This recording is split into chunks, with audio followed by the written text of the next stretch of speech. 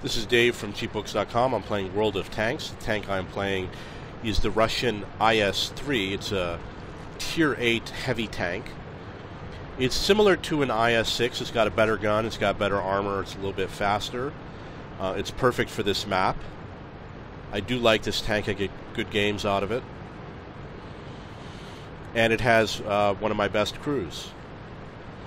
If I think it has my best crew in the game. Okay, so um, I usually advance as far as I can. You want to stay a little low because you don't want to have issues with gun depression. So there's a slope up ahead. I'm not going to go up that slope. There is an advantage to being lower on the hill because the tanks that are up here have a little bit more difficulty shooting down there. So it is a little bit better to be down lower. I've got that 12 second reload time so I have to be careful. I need a place to hide.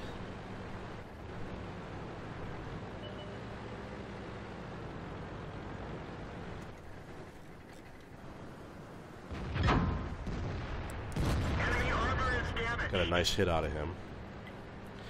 Once it's halfway reloaded, you reverse direction, and you will be reloaded at approximately the time you arrive, ready to fire.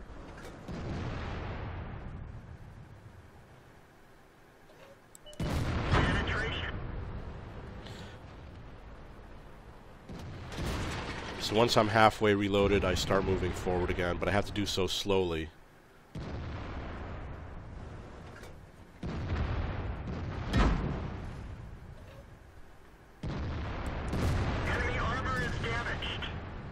Got a couple solid hits.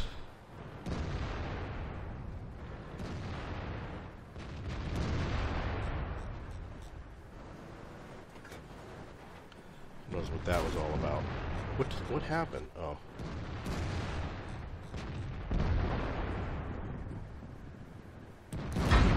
That one didn't go through. That's too bad.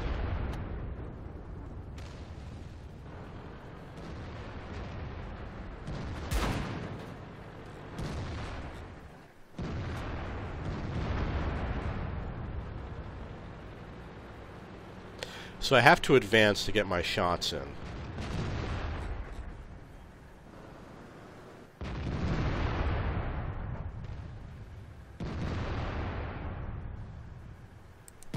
We didn't even scratch them.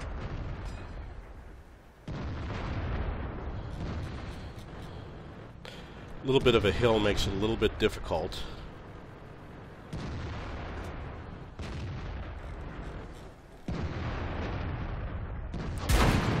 I missed.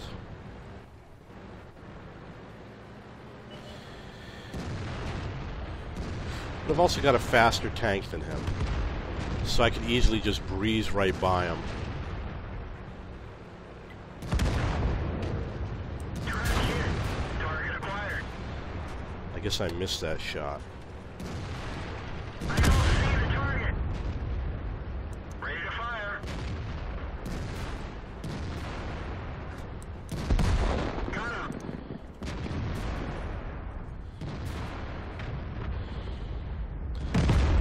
Okay. 12 to 1. Um, this is not the way I normally play, so I'm not going to get all that experience that I normally get. It's going to go to some other players. I should have advanced further. I didn't expect that my team. Well, maybe it's because there was no enemy there that, that my team obviously went further. Just keep on moving.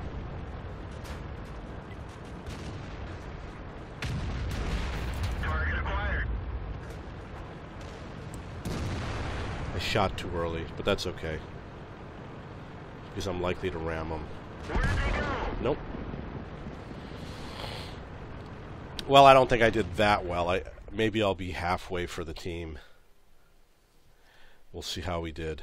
And it shows you it's going to show you the difference between having the spotting damage and not having it. 3450, that's okay. So I'm a little bit over the halfway mark. Let's see if I did any spotting damage. Only 200.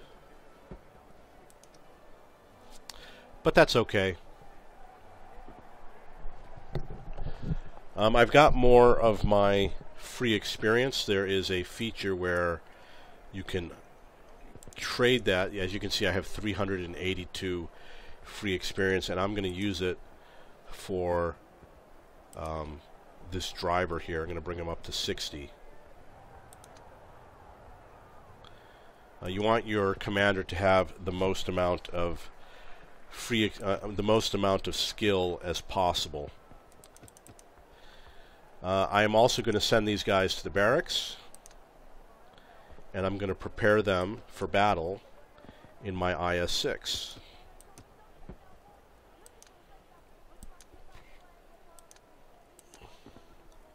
And while I'm here, I'm going to do one last thing. I'm going to check my service record for my tanks to see which one is actually doing the best. Um, as you can see, the most battles I've had were with the IS-6. It's probably because it was the first premium tank that I purchased. In terms of victories, I know the T-150 is going to be up there. Um, the T-150, the M6, KV-3, average experience per battle, which is what counts in the game. The T29, I got the most average experience with the T29. It was an excellent tank, had a great gun. Um, as you can see, the IS-3 for me is second. The IS-6, the STI, which are the three Russian tanks. Excuse me. And the T29 is a lower tier tank than the ones that come below it. But my IS-3 is uh, the second highest for average experience. Um, you look over here where it says enemy vehicle spotted 1.7 and enemy vehicles destroyed. Well, the enemy vehicle spotted 1.7. For me, it's a very high number. Uh, damage caused with your assistance 439. I probably have higher numbers in those two areas than most other players. And also damage received. I tend to have a very high number for damage received. But that's what keeps my experience high.